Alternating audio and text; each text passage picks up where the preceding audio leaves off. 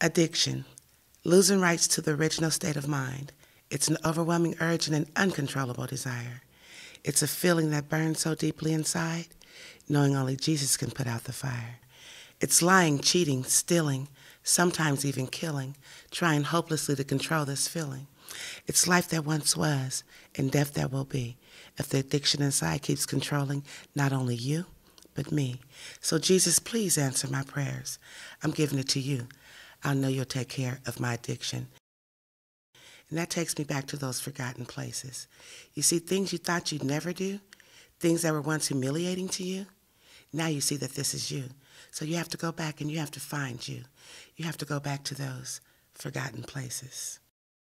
A place that was forgotten, somewhere lost deep within, shattered pieces of innocence, looking back where it began. Images, distraught and scrambled, of good times and laughs once new. The world was once wide open for success and dreams once viewed, but somewhere in my heart, a place and time forgot. My mind must take me there to find that once known part, forgotten places.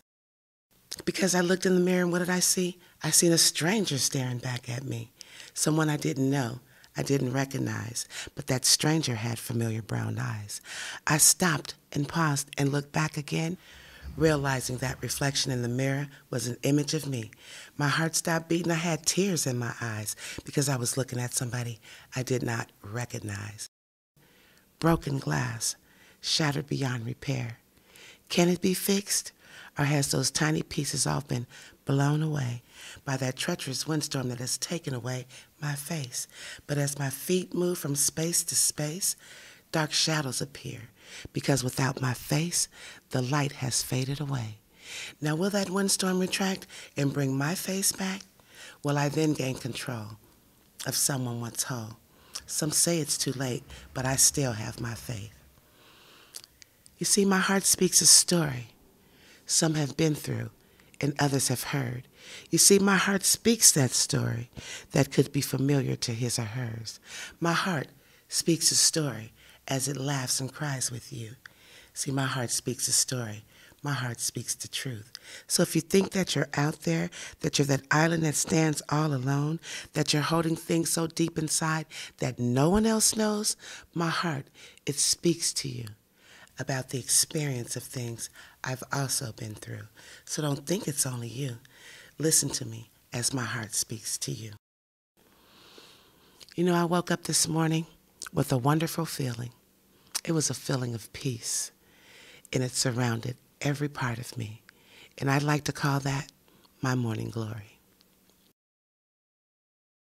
As the early morning light rises from the darkness of yesterday's night, and the sweet, gentle breeze is so calming and peaceful, the only thing that I hear are the hummingbirds that sing.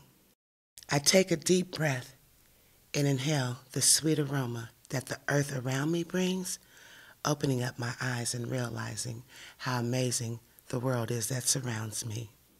Forgetting about all my worries and all the obstacles that the later day might bring, because this day is for me the Lord has awakened me with an indescribable peace.